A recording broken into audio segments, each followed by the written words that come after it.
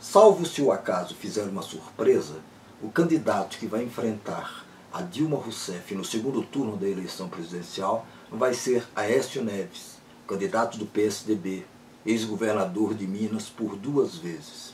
Isso, de alguma maneira, está sendo antecipado pelas mais recentes pesquisas de intenção de voto do IBOP e do Datafolha. Aécio veio nas duas últimas semanas numa escalada lenta, gradual, porém segura, enquanto que Marina Silva veio perdendo votos ao longo das duas ou três últimas semanas. O que atribui, o que se atribui à queda de Marina Silva é simples. Ela apanhou, mas apanhou muito feio tanto do PT como do PSDB.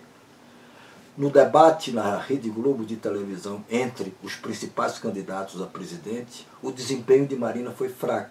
Ela estava claramente fragilizada diante do que ocorreu. Se Aécio vai ser um candidato capaz de enfrentar Dilma, e não só de enfrentá-la, mas de talvez até superá-la, só o futuro poderá dizer. Mas o mais provável, a se levar em conta resultados de pesquisas é, eleitorais nos estados e também nacionalmente, o mais provável é que a Dilma Rousseff, chegando amanhã, lhe faltando apenas poucos pontos para liquidar a eleição no primeiro turno, ela liquide com tranquilidade no segundo turno.